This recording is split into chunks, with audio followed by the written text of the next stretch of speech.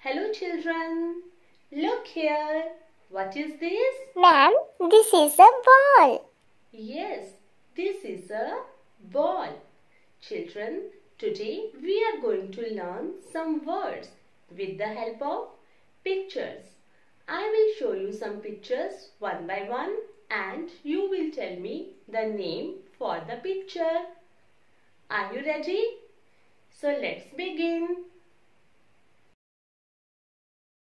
Look at the picture and tell me what is this? Ma'am, this is a glass. Yes, Rajan, you are right. This is a glass. G, G, glass. Now look inside the glass. Come on, who will tell me what is in the glass? Ma'am, there is juice in the glass. Yes, very good. It is juice.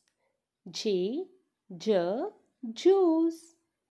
Children, here is our next picture. What is it? Ma'am, it is a bag. Yes, children, it is a bag. B, B, bag. Now, look at the next picture. Who will tell me what is this? Ma'am, I know. This is a pencil.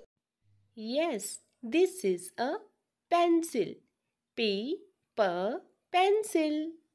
Children, we write with a pencil. Here is the next picture. Ma'am, this is a book. Yes, children, this is a book. B, B, book. Look, children, there are so many books. Alphabet book, number book, and many more. Come to the next picture. What is this? Ma'am, this is a copy. Yes, you are right. But we don't say copy. We speak as notebook. N, N, notebook. Come on, speak with me. Notebook. Let's move to the next picture. Ma'am, it is a dog. Yes, children, it is a dog. D, D, dog. Children, the next picture is here. It is the picture of a tree. T, T, tree. Now, let's revise all the words. Glass, juice, bag, pencil, book, notebook, dog and tree.